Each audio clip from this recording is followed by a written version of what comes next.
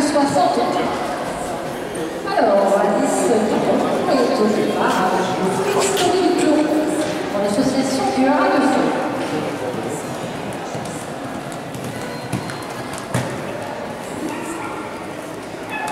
Alors, c'est donc le 7. Émilie Zoé Roncourt pour le CPA des Saint-Médard. Je saute des lignes, ouais, c'est un lapsus révélateur ça. Le 30 Ah.